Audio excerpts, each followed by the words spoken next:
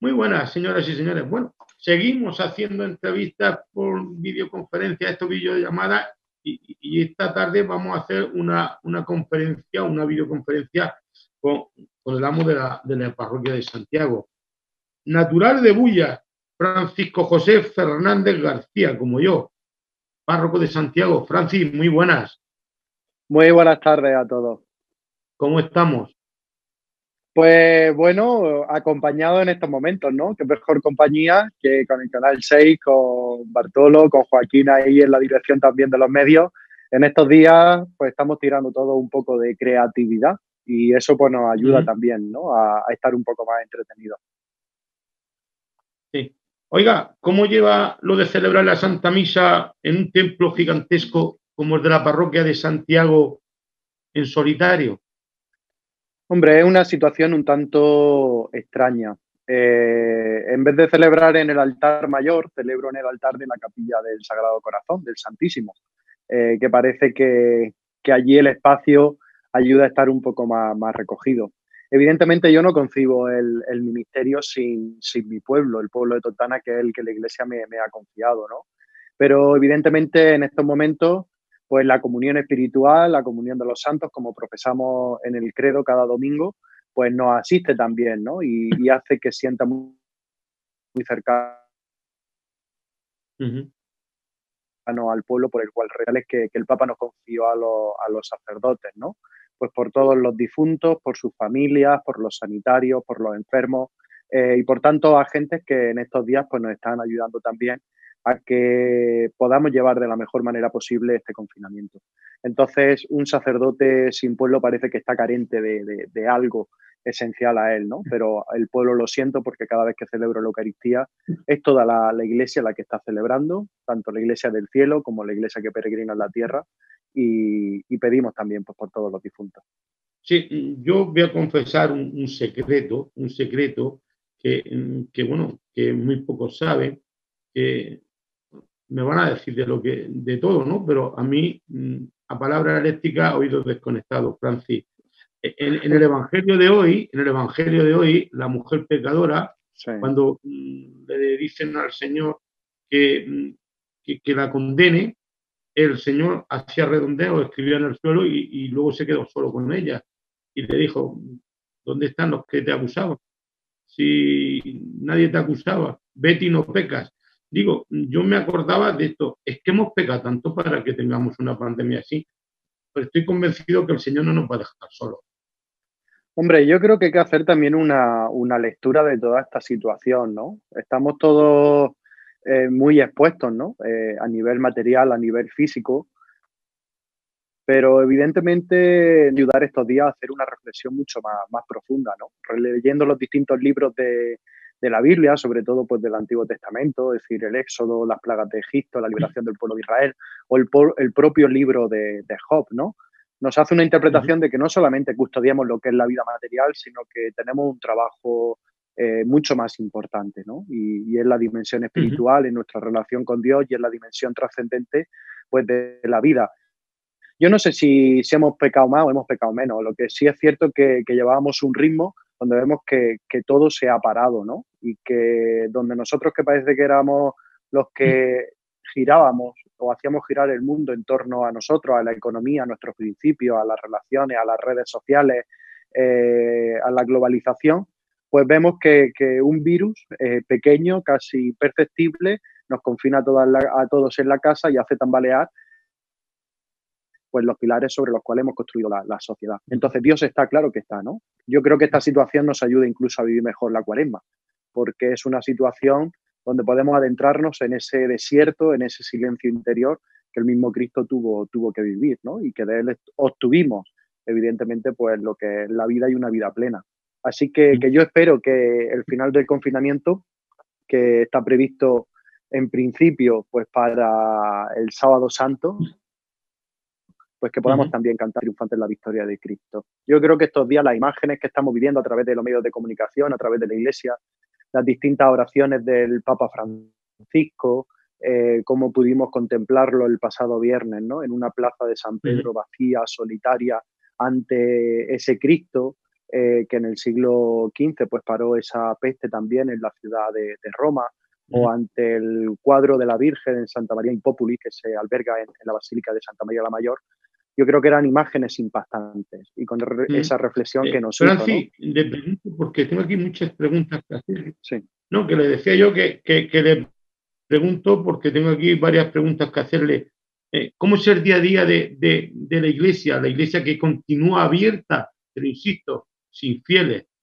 Sí, pues mira, el día a día de la iglesia eh, principalmente se mantiene en, la oración eh, del párroco, en la oración del sacerdote. Sí que es cierto que durante cada jornada, pues dos horas al día, de 9 a 11, mantengo la iglesia abierta pues para que del mismo modo que la gente va a la farmacia, del mismo modo que van a comprar eh, las cosas necesarias en el supermercado, pues que puedan entrar también a hacer esa visita al Señor, ¿no? Y puedan pedirle y puedan agradecerle y puedan encomendarse.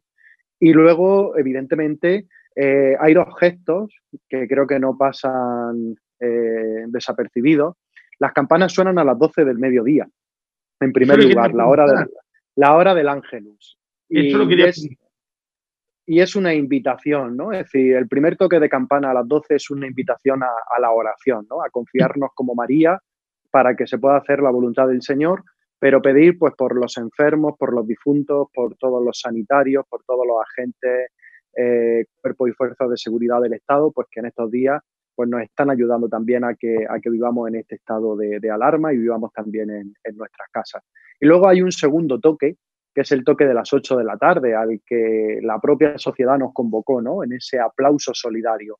Entonces son esos dos gestos, ¿no? Donde la iglesia, donde el párroco, pues baja de la casa a la sacristía y, activa las campanas y veo pues como la gente, ¿no? Está esperando también ese toque de campanas para, para ese aplauso. Pero no podemos olvidar que la iglesia, pues también eh, sigue viva y sigue manteniendo la caridad, sobre todo a través de Caritas. Desde aquí mi agradecimiento pues a los voluntarios que diariamente y de una forma anónima porque no se les ve y manteniendo pues las normas y las precauciones eh, sanitarias pues para evitar los contactos y posibles contagios estamos saliendo al encuentro pues de los que más lo necesitan de los más vulnerables y de los más mm. necesitados entonces la iglesia sigue vive cada cada vez que celebro yo la Eucaristía está presente todo el pueblo, cada vez que rezo la liturgia de las horas, eh, cada vez que suenan las campanas, cada vez que abrimos las puertas de Cáritas, cada vez que nos llaman pues para pedir una palabra de, aliento, de consejo. En estos días pues son muchas personas las que tiran de teléfono y, me presentan pues muchas veces las tristezas, muchas veces eh, las situaciones que, vemos que no, que, no ayudan eh, humanamente y que hay que poner una palabra de aliento. Eh, digo que en cuanto al tema de los entierros, bueno, los velatorios indirectamente la iglesia no tiene nada que ver, pero en cuanto al tema de los entierros, según tengo entendido, que aconseja que haya eh, tres personas. Eh, digo esto, y, bueno, y sobre todo si son familiares, ¿cómo se lleva esto? Es un dolor. a mí lo que, lo que más dolor me produce y mayor preocupación en estos días creo que han sido ya cuatro o cinco entierros los que he tenido que, eh, presidir y la verdad que la gente es muy responsable a la hora de, acceder al templo. Evidentemente no es la restricción esa de tres, cuatro personas, sino que hay que mantener pues, la medida de seguridad. Evidentemente contamos que la iglesia de Santiago es un templo amplio, pero sí que puedo decir que, en los últimos entierros que he tenido eh, han venido cuatro o cinco personas y impresiona, impresiona tener que despedir eh, a una persona eh, en esa situación, una persona querida sin mostrar, eh, sin poder mostrarle el afecto, ¿no? de un abrazo, de, un beso, de una palabra de ánimo y de acompañamiento en esas situaciones. Yo tuve que vivir también, ¿no? Pues algo que, produce ese dolor de corazón, pero al final también esa esperanza de la vida, que fue el entierro de, de Sor Tomasa, la superiora de las hijas de la caridad, en la más estricta intimidad en la capilla del cementerio porque ella al, fallecer también dando positivo de coronavirus pues fue incinerada directamente Evidentemente, pues las hermanas como medida preventiva también, ¿no? Pues mantienen ese aislamiento y evidentemente en la capilla del cementerio pues nos encontrábamos los operarios, eh, los servicios funerarios y yo allí ante las urnas y rezando y encomendándola al Señor, ¿no? Es decir, son situaciones que verdaderamente eh, se graban, se graban en el corazón pues de, un cura, eh, de una comunidad religiosa o de un familiar tener que despedirlo en, esta, en estas situaciones. Yo creo que, es de los casos que a mí personalmente pues más me, me cuestan, ¿no? Eh, señor Francis, le quiero, preguntar una cosa. ¿Cómo están de ánimo las hermanitas de, vicencianas de eso? Porque intenta hablar. Hijas de la caridad. Sí, sí. Eh, sí, pues yo mantengo, mantengo el contacto. Y, y, no he podido hablar con Sor Pilar. ¿Están de ánimo bien? ¿Cómo la ve usted?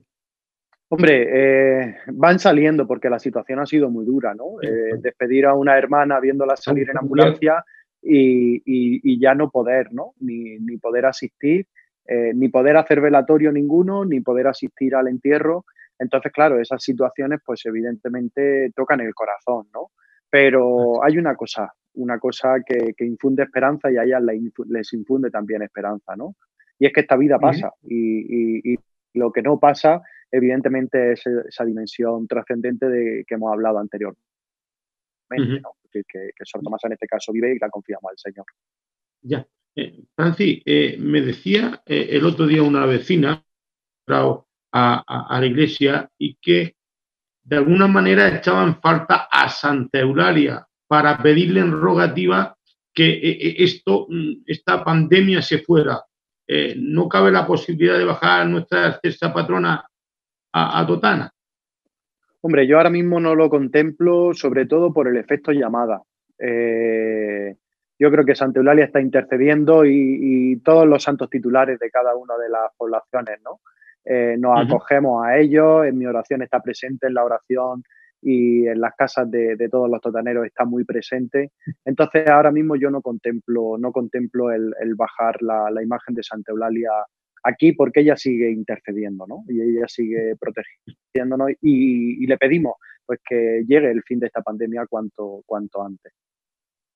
Oiga, mm, me decían, dice, hombre, mm, yo no he notado que habían, que habían entrado a la, capilla del Santísimo bueno, y que habían visto a la iglesia como una patera. Digo, hombre, hombre, por favor, ahí está la, limpieza y todo de los bancos y todo, que para eso está el señor párroco que, está encima de, la gente que tiene que poner limpieza en, la iglesia. Digo esto, y, cómo queda? Porque antes hablábamos el día a día de la iglesia. ¿Y cómo queda el tema? Seguimos con, los, difuntos, con los entierros. Las misas de difuntos se aplazan Sí, todo ahora mismo yo le voy comentando a las familias que en tal que, tengamos pues el levantamiento por parte del decreto del obispo sí que hay que aclarar, es decir, eh, nosotros a nivel civil eh, no tenemos cerradas las iglesias, es decir, las iglesias pueden permanecer abiertas siempre y cuando pues se garanticen esas medidas de, seguridad y esas medidas de, higiene, de limpieza por posibles mm, contagios por contacto. Eh, pero sí que el obispo fue el que decretó el que los sacerdotes pues celebrásemos en privado. Evidentemente sacó un decreto con respecto al tema de las misas funerales y nosotros pues vamos registrando cada día los enterramientos que ha habido y vamos hablando con las familias pues que en tal que se pueda nos ponemos en contacto con ellos pues para celebrar lo que es la misa, la misa funeral. De igual modo, ¿no? Surgen otras preguntas porque estábamos muy cercanos a las primeras comuniones. Bueno, pues mm, hay que esperar. Sé que hay parroquias eh, vecinas, como puede ser Mazarrón, que, que, ya han dado fechas pues, para el mes de septiembre y el mes de octubre. Yo quiero esperar un poco a ver cómo, cómo avanza la situación y, iremos viendo, pero evidentemente pues la vida tiene que, seguir. Sí que es un replanteamiento, ¿no? A simplificar mucho más las cosas y a vivirlo desde, desde otra óptica y otra dimensión, Le quería preguntar eso, el día a día de la iglesia, el día a día de la iglesia es bodas, bautizos, comuniones, pero también tenemos celebraciones de confirmación, eh, reuniones de, de, visitadores de enfermos.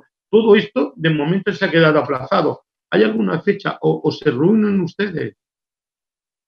No, ahora mismo no hay, no hay fecha porque no sabemos cuánto, cuánto puede prever en tiempo esta situación, ¿no? Entonces sería un poco estar aventurándonos. Yo creo que cuando se levante lo que es el confinamiento, pues entonces tendremos que, con agenda en mano, volver a programar todo lo que estaba. Sí que, mm, pues para mí es una preocupación bien el, grupo de, visitadores de enfermos en, esa comunión que veníamos realizando pues semanalmente en esa visita y, intento mantener ¿no? pues la, cercanía pues haciendo algún tipo de, reflexión, comunicándola vía redes sociales, bien sea en publicación de Facebook, bien sea eh, a través de WhatsApp para que verdaderamente pues, no se sientan solos y sientan que la Iglesia también sigue caminando con ellos aún en medio de esta situación. Es decir, ahora estamos todos llamados a una comunión espiritual, eh, a frenar un poco el, ritmo y las actividades que veníamos realizando. Y yo creo que depende un poco también de, la actitud, como uno quiera vivirla. Por eso a mí me gusta vivirla desde el optimismo y desde la esperanza. Eh, yo creo que tenemos que, que seleccionar muy bien ¿no? la información eh, que, escuchamos, porque evidentemente hay mucha negatividad, hay mucho pesimismo. Eh, y yo creo que, hay motivos también para la esperanza. En esa esperanza es la que tenemos que, trabajar, tenemos que, reinventarnos, tenemos que ser creativos, eh, tenemos que reír, tenemos que movernos, tenemos que llorar. tenemos que ser también no matar el tiempo, sino vivir el tiempo, ¿no? Con nuevas oportunidades. Evidentemente, yo vivo en una situación que al vivir solo, pues me es mucho más fácil pero hay situaciones pues que las familias tienen que reinventarse también, ¿no? Hay una reagrupación familiar con respecto eh, a, los esposos, con respecto a nuestros mayores, con respecto a los hijos, con respecto a los padres. Yo creo que, va a ser una lección, ¿no? Una lección positiva lo que sacaremos de todo esto. Digo, mm, señor párroco, vuelvo otra vez eh, al Evangelio. Yo recordaba el otro día en uno de los Evangelios que era el, Evangelio de cuando el Señor estaba en la barca y, se volvió la tempestad. Y, el Señor dijo esto de, mm, tenéis miedo de poca fe. Y, que no, usted con esa voz divina no podía mandar callar al virus este maligno que tenemos. Pues es un misterio.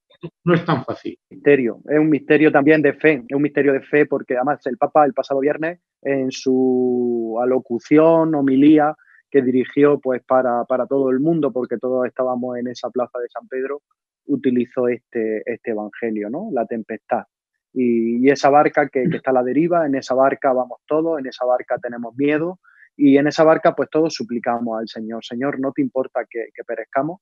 Y, el Señor tiene su tiempo, ¿no? Y habrá que sacar las lecciones de, de esta situación. Evidentemente, pues para mí también son interrogantes pero ese interrogantes me hacen a que persevere mucho más en la oración y a que persevere todavía mucho más en, la confianza en el Señor, ¿no? que es quien tiene la victoria y quien tiene la última palabra. Sí, digo que yo, volviendo a las palabras que usted decía del Santo Padre el pasado viernes en la Plaza de San Pedro, era impresionante ver al Santo Padre con 83 años, solitario, allí con aquella atardecer en la Plaza de San Pedro en el Vaticano, lloviendo, eso son unas imágenes que impresionan. ¿Qué le parece a usted? Esas imágenes van a quedar para la historia. Eh, porque. Así nunca. Nunca, nunca. Y además, mm, yo creo que era ensordecedor también, ¿no? El ruido de las sirenas. Eh, los que hemos podido vivir en la ciudad de Roma eh, durante un tiempo mm, conocemos ese ruido constante, ¿no? Por, un lado era la súplica del Papa con ese compungido y con ese rostro también de, preocupación, eh, con ese ruido ensordecedor de, la sirena, pero con esa confianza, con esa calma, con ese silencio de saber que, este silencio está habitado y está habitado por, aquel que, da paz y que infunde esperanza en nuestras almas. Sí, oiga, mm, me gustaría saber una cosa, porque yo creo, es que no lo sé si es un bulo o no es un bulo, tantos bulos que hemos escuchado, yo se lo pregunto. Eh, y usted nos puede sacar de dudas, ¿va a haber procesión o procesiones después de que pase todo esto como se ha escuchado, como se dice en las redes sociales, por septiembre, por octubre? Claro, el señor obispo no nos ha mojado en el tema. No, yo creo que todavía eh, ahora mismo las procesiones es lo que, lo que menos importa ¿no? en, estas circunstancias. Es cierto que, que para Totana es un como es un dolor pues para tantas ciudades que se vive con tanta intensidad el tema de la, de la Semana Santa. Eh, el dicasterio y la prefectura, pues para el, culto y la disciplina de los sacramentos, envió unas indicaciones eh, a cada una de las diócesis de las conferencias episcopales pues sobre las normas a seguir eh, para estos próximos días, el, el triduo pascual y la semana de pasión. Y luego, pues a todos eh, nos sorprendió también, ¿no? Pues que, que, daba esa libertad para que cada obispo considerase la oportunidad dado el arraigo de, la devoción y de la piedad popular, de que alguna procesión se pudiese realizar el 14 y el 15 de septiembre. Son dos fechas señaladas porque por un lado se celebra la exaltación de la Santa Cruz y por otro el 15 de septiembre el Día de Nuestra Señora de los Dolores, como lo conocemos. Entonces, pues bueno, todo depende ya del obispo. Si yo tuviera que dar un criterio y un pensamiento, no lo sé, no lo sé porque que yo creo que, cada cosa tiene o cada tiempo tiene su, momento y cada situación, pero bueno, eh, es una determinación que valorar y que después pues todos eh, en todas las ciudades y a través de los distintos cabildos, pues si, es afirmativo se barajará la posibilidad de poder hacer una procesión el día 14 o el día 15, pero evidentemente ya no tiene ese, transcurso ¿no? del jueves santo, lo que celebramos el jueves santo, la muerte del Señor o el triunfo de, Cristo a través de la resurrección. Pero será una forma de reinventarse, pero quizás creo que, ahora es lo que menos debe de, de preocuparnos. ¿Está el señor párroco en contacto mm, con el señor alcalde? ¿Qué, ¿Cuál es la última noticia que, tiene el señor párroco del Estado mm, sobre la enfermedad aquí en Totana? ¿Y sabe algo cómo está su pueblo de nacimiento, Bullas? Pues mantengo, yo creo que es muy de agradar también, ¿no? Y de agradecer el trabajo que, el alcalde está realizando a través de las redes sociales, porque continuamente nos mantiene, nos mantiene informados.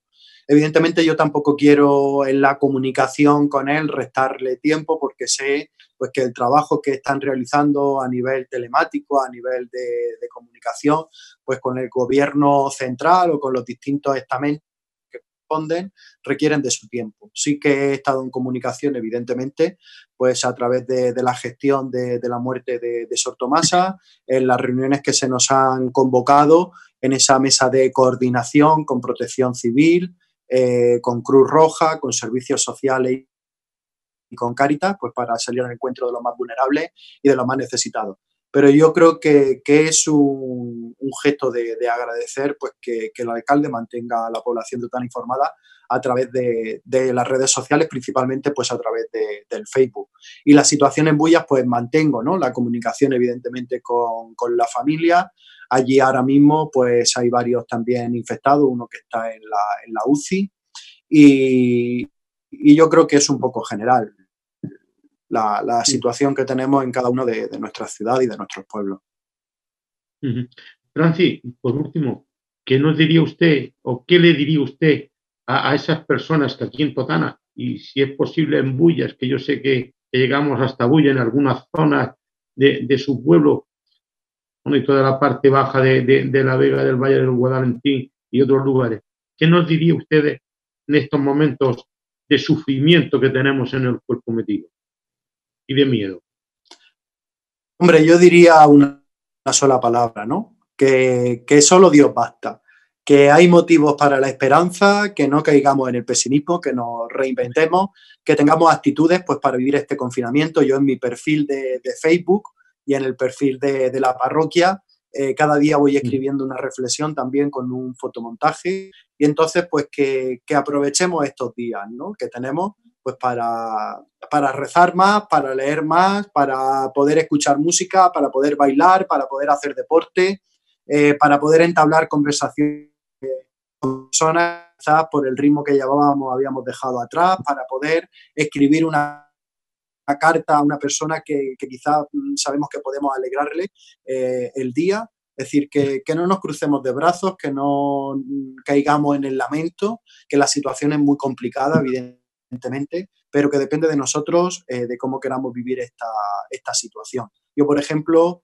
eh, pedía que la actitud del día de hoy pues, fuera el, reír, el bailar, el moverse y el que podamos reinventarnos eh, ante cada situación, porque depende de nosotros, no tanto de la situación. Señor párroco de la parroquia de Santiago, Francis, muchísimas gracias por atendernos. Un abrazo fraternal, aunque sea virtual. Bueno, y, y, les confieso también otra cosa, que tengo ganas de, despertarme el domingo por la mañana temprano para ir a misa de 8, porque me falta algo. Muchísimas gracias por atendernos y abrirnos gracias, tu, casa. Gracias a vosotros por esta oportunidad que me dais de, poder ser cercano también a cada uno de nuestros hogares, tanto de Totana como de mi pueblo de Bullas, que sé que, llega, eh, porque la gente me dice, te he visto en la televisión. Entonces, ¿Ah, que, estoy rezando por vosotros, que hay alguien en la iglesia que mantiene la esperanza y que sobre todo, eh, aun cuando esta vida pasa, Dios no pasa. Así que, que ánimo y adelante, que se puede. Eh, mm, que muchísimas gracias, repito, y mm, como digo yo, cuando termino, ¿no? Eso de queden con Dios, pues queda con Dios y, y los televidentes también queden con Dios. Buenas tardes. Muchas gracias, buenas tardes.